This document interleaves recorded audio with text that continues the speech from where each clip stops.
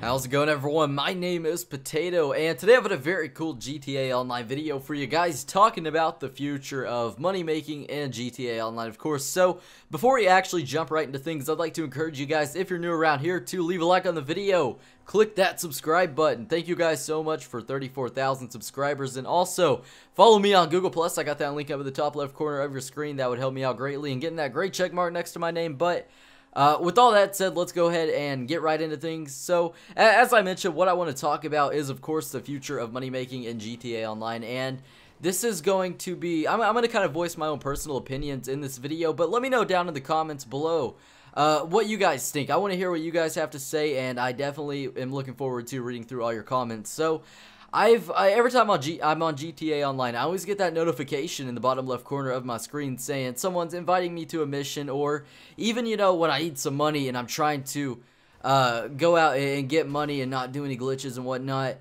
The missions are just so boring, and I dread doing them. And as of right now in GTA Online, a lot of the missions are repetitive in a way. Now there's a there's a whole wide array of uh, different missions you can do, but there's very little missions that actually really pay you a good substantial amount of money uh, opposed to a really fun mission that you have a great time doing and then you, you at the very end of it you get 200 RP and $1,000 for doing the whole thing. So uh, there's a lot of pros and cons to the good and bad missions in GTA Online and I was thinking and I, I know a lot of people have said this before but you know, aside from Heist, which should be coming out sometime this spring, or at least they were supposed to, um, aside from the Heist part, which I'm not really going to talk about in this video, I want to talk about the idea of us players of GTA Online being able to own and manage businesses similar to what we've seen in single player uh, sometime soon in the future. I think it would be a great addition, uh, additional feature to GTA Online, of course. Just if you could um, uh, own a business, say like just like in single player when you're playing as Michael, for example, and you go up to a for sale sign and uh, say you buy a, a nightclub, for example. You and this is a horrible comparison here, but say you buy a nightclub in GTA Online, and this is just a thought.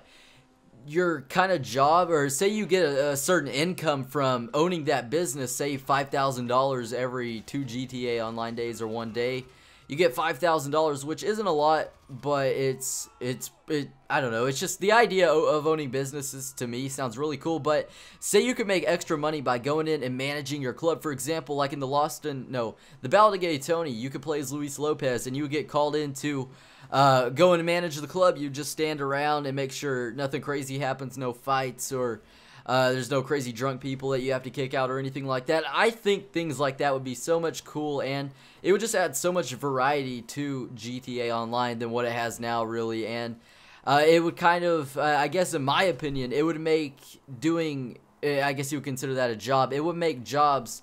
Uh, and different things like that more fun to do and making money would be something that you could look forward to opposed to say you have no money in GTA Online right now and you want a car, you're like, oh, I gotta do these boring missions that don't really pay me anything and I gotta repeat them 10,000 times. So, like I said, guys, this is all just my ideas and whatnot, but I think it would be so cool if sometime in the future Rockstar did add in a, I guess, add in some businesses that you could buy. So, with that said, guys, I'd like to encourage you to leave a like on the video, as I mentioned, subscribe for some more epic GTA content, and follow me on Google+. Plus. Now, um, I'm going to start repeating myself. I, I got to quit that. But that is it for this video, guys. You all take it easy. Have a safe one. I need to work on my outro, and I will talk to you later. Bye.